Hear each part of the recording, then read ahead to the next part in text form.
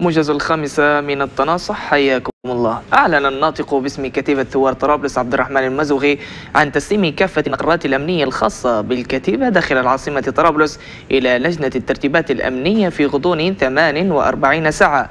المزوغي في تصريح للتناصح أوضح استلام وزارة الداخلية لشؤون العناصر التابعين لكتيبة مشيرا إلى توزيعهم على إداراتهم العامة خلال الفترة القادمة.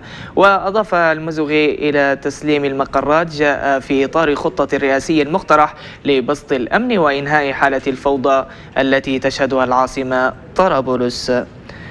أعلن وزير الخارجية الإيطالي إنزو ميلانيزي أن قائد ميليشيات الكرامة خليفة حفتر أبدى رغبته في المشاركة بمؤتمر باليرمو الدولي الخاص بالأزمة الليبية.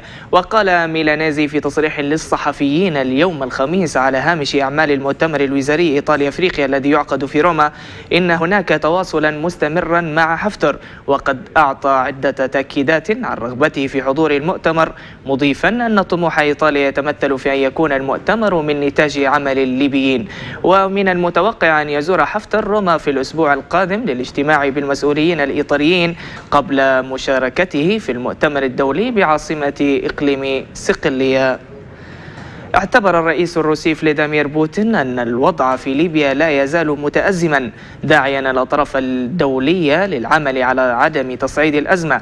وأكد بوتين في مؤتمر صحفي عقده في موسكو مع رئيس الحكومة الإيطالية جوزيبي كونتي على دعم موسكو لما تبذله إيطاليا من مساع في سبيل استقرار الأوضاع في ليبيا. مبديا دعمه لمؤتمر باليرمو حول ليبيا.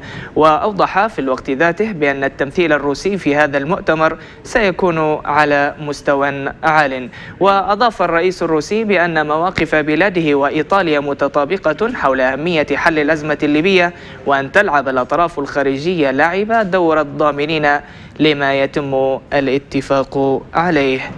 قال رئيس بعثة الأمم المتحدة للدعم في ليبيا غسان سلامة إن البعثة الأممية شاركت في معالجة الأزمات التي شهدتها ليبيا إبان هذا العام الذي يموج بالاضطرابات.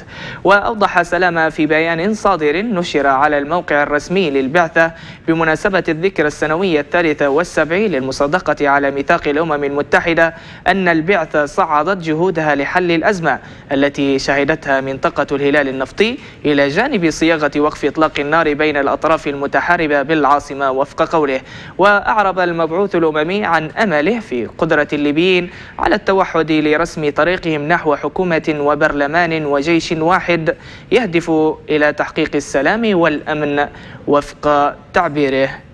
نهاية الموجز إلى اللقاء.